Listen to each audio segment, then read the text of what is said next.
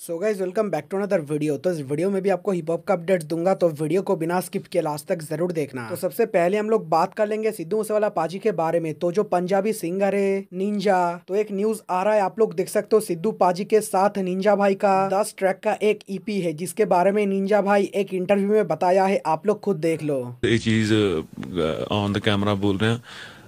ਅਸੀਂ ਵੈਸੇ ਇੱਕ ਰੈਂਡਮ ਅਸੀਂ ਮੋਹਾਲੀ ਮਿਲੇ ਤੇ ਵੀਰੇ ਕਿਦਾਂ ਜੀ ਮੈਂ ਕਿਹਾ ਮੈਂ ਕਿਹਾ ਵੀਰੇ ਬਹੁਤ ਵਧੀਆ ਠੀਕ ਠਾਕ ਚੜ੍ਹਦੀ ਕਲਾ ਆਪਾਂ ਕੁਝ ਬਣਾਉਨੇ ਆ ਅਸੀਂ ਉਦੋਂ ਸ਼ਾਮ ਨੂੰ ਅਸੀਂ ਸਟੂਡੀਓ ਗਏ ਆ ਥੈਂਕ ਸੋ ਵੀ 9 ਕੁ ਵਜੇ।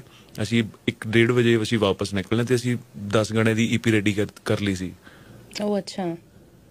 ਪਰ ਉਹ ਚੀਜ਼ ਜਦੋਂ ਮੈਂ ਹੁਣ ਅੱਜ ਈਪੀ ਵੀ ਸੁਣਦਾ ਤਾਂ ਮੇਰਾ ਦਿਲ ਹੀ ਨਹੀਂ ਕਰਦਾ ਵੀ ਮੈਂ ਕਿਵੇਂ ਉਹ ਚੀਜ਼ ਨੂੰ ਕਰਾਂ।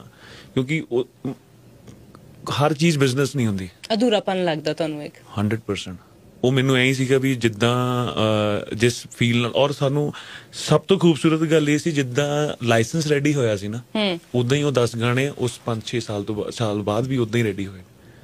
ਉਹੀ એનર્ਜੀ ਉਹੀ ਸੇਮ ਇੱਕ ਫੀਲ ਉਹੀ ਰਿਸਪੈਕਟ ਉਹ ਉਹੀ ਉਸ ਤਰੀਕੇ ਨਾਲ ਹੀ ਵੀ 2016 ਦੇ ਵਿੱਚ ਜੋ ਪਹਿਲਾਂ ਜਿੱਦਾਂ ਮੈਂ ਪਹਿਲੀ ਵਾਰ ਮਿਲਿਆ ਸੀ ਵੀਰੇ ਆਪਾਂ ਨਹੀਂ ਇਦਾਂ ਕਰਾਂਗੇ ਏਦਾਂ बाकी पंजाबी तो मुझे उतना समझ में नहीं आता अभी देखते हैं ईपी हम लोगों को देखने को मिलता है या फिर नहीं तो चलिए अभी हम लोग बात कर लेंगे एमयू भाई के बारे में तो एमयू भाई का अभी जो एल्बम आया है K O T S King of the Street उस एल्बम ने स्पॉटिफाई के अंदर 41 मिलियन स्ट्रीम्स पार कर चुका है तो बहुत बहुत शुभकामनाएं एमयू भाई को और आपको बता दूं बंटा रिकॉर्ड्स के तरफ से वेडनेसडे एक ट्रैक आने वाला है हेलक भाई का जिस ट्रैक का नाम है डिप्रेशन तो अभी देखते हैं, हिलक भाई का जो ट्रैक आने वाला है, वो ट्रैक कैसा होता है। तो वीडियो अगर आप लोगों को अच्छा लगा तो वीडियो पे एक लाइक कर देना और एक कमेंट भी कर देना। तो इस वीडियो में तो इतने ही, मिलते हैं एक नई वीडियो में, तब तक के लिए tata bye bye and take care